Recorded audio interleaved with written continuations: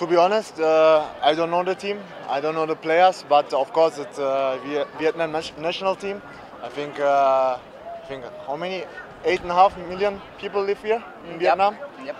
Oh no, no, not in Vietnam. I mean Hanoi in Vietnam. Uh, 90, 90 million.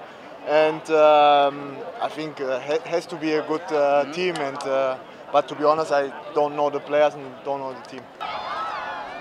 I think uh, the people. Look at the people. Uh, they are here. They are here to support us. I think uh, it makes us proud. That we are very happy that they are here. And yeah, it's an interesting city here. And we are very looking forward tomorrow for the game. That that we wanna play against a tough opponent. I think it will be not easy tomorrow. But uh, you know, of course, um, first of all, nobody gets injured. I think that's the most important. But uh, we, we play professional football, and we always want to win the games. And uh, that's uh, also like tomorrow. We want to win the game and uh, have fun and uh, have a good day here with all the people. I, I love the Vietnam kitchen.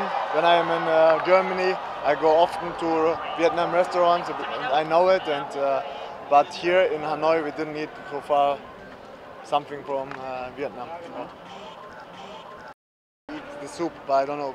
Phở, phở. Pho. Mhm. Yeah, that's what we eat.